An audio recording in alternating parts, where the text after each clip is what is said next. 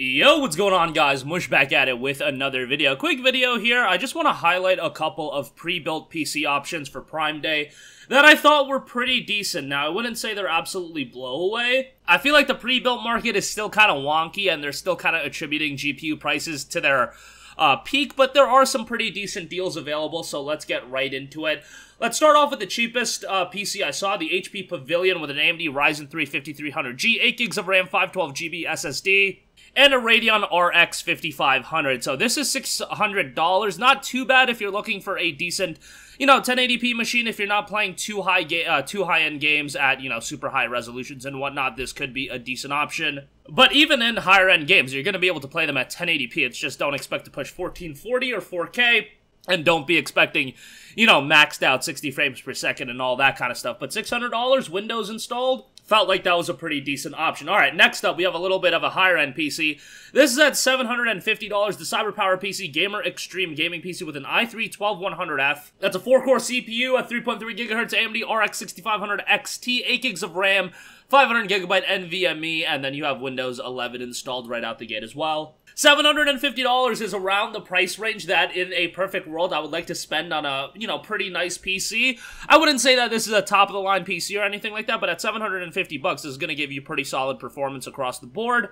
A 6500 XT is also a pretty decent GPU to get. Um, you know, typically this is MSRP is $1,030. Like, that's just wild. Nobody trying to pay $1,030 for a PC like this. But at 750 Okay, now we're talking a little bit more.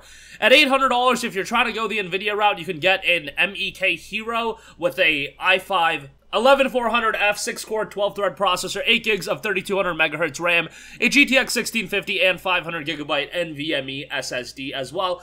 Kind of a bummer that in the lower price points you are rocking 500 gigs on these. But I guess that's just one area where they figure, you know, you can make a bit of a sacrifice, and I kind of get it. You know, most people are probably going to be fine with 500 gigabytes, but you look at games like Red Dead Redemption 2 and how massive they are, you know, 500 gigabytes can be a little limiting. You can look at FF7 Remake as well.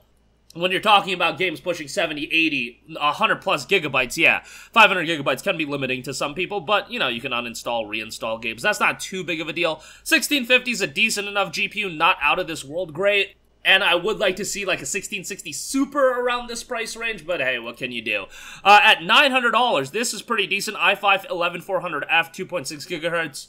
RTX 3050, 8 gigabyte, 8 gigabytes of RAM, and once again, an uh, 500 gigabyte NVMe. So these are kind of like the NVIDIA options, and you know, on a lower end, uh, on the lower end side of things, and then you know, the HP Pavilion and the CyberPower PC with the uh, with the RX 5500 and the 6500 XT, respectively. Those are kind of the lower end AMD options right now. It's gonna be rough getting a pre-built for sub one grand and uh, have it still be fairly decent, but I thought these PCs were uh, fairly good for what you're getting. Okay, now if you're going above a grand, we can talk some pretty solid stuff. The Skytech Shiva with an Intel i5 11400F and an RTX 3060 a 1 terabyte NVMe, 16 gigabytes of DDR4 RAM, and a 650 watt gold power supply. That's $1,100, and that's pretty solid for a PC with an RTX 3060. I mean, an RTX 3060 still goes for a hefty price point, especially if you're talking about buying one off eBay and whatnot, and you're getting a lot of other quality parts here. If you're valuing the 3060 even at, you know, 400, 450, everything else you're getting is pretty solid.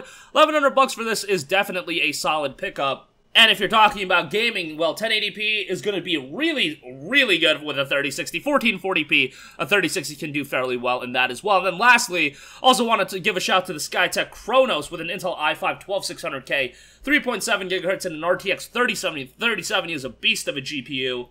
Great performance at 1440p, and 1080p is a little bit, nah, I'm hesitant on saying overkill since some people just want to, you know, get 144 FPS on every game and whatnot, but, you know, 1440p is really a solid spot to be at with the 3070. But if you want to get something a little bit higher end, if you got a 144 hertz 1080p monitor, a 3070 is going to be nice for that too. 1 terabyte NVMe, 16 gigabytes of RAM, and once again, a 650 watt gold power supply.